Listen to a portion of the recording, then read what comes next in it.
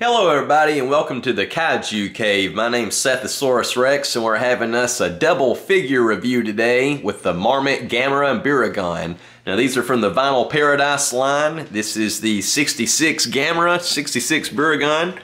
Um, some people could argue that he was a 67 because they did issue a Gyaos out of the Vinyl Paradise line too, but we're going to call him a 66 because he's with the puppy dog Barugon here who is just really fantastic. Love the silver on orange, love the X pattern.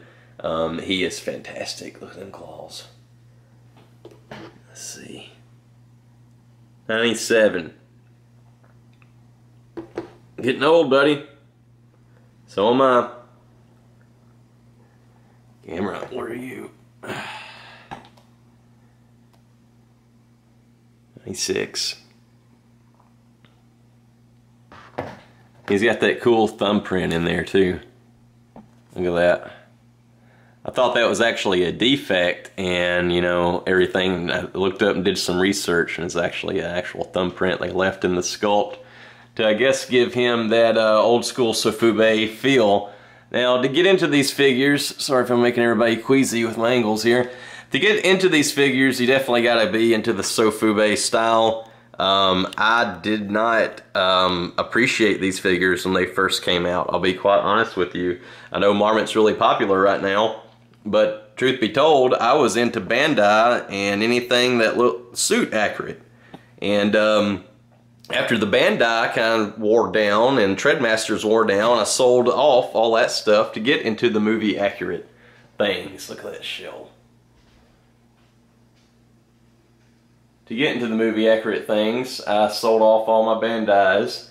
And it's kind of ironic now because I'm all into Sofubi and uh, the vintage style, which, you know, it is kind of goofy, kind of at first to the untrained eye, but as you get into it, it's more art pieces.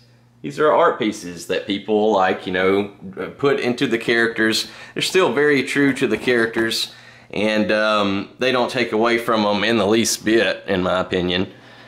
But um, they, they, they're just not suit accurate, you know. They're not just verbatim.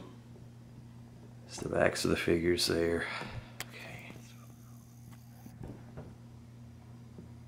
In kind of a hurry. Not really, though. Any kind of poses you put these in will look great.